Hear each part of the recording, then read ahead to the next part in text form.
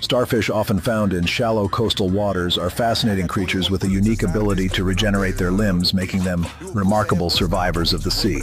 These echinoderms can have up to five arms, but some species possess many more, demonstrating the incredible diversity among different starfish. Starfish are not actually fish. They belong to a group known as echinoderms, which includes sea urchins and sand dollars, emphasizing their unique classification in the animal kingdom.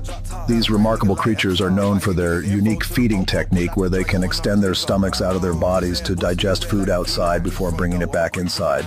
Starfish have the amazing ability to blend into their surroundings using camouflage to protect themselves from predators while they rest on the ocean floor.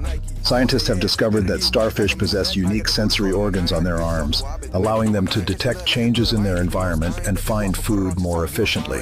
The water vascular system is a fascinating aspect of starfish biology, enabling them to move and feed by controlling water flow through their body.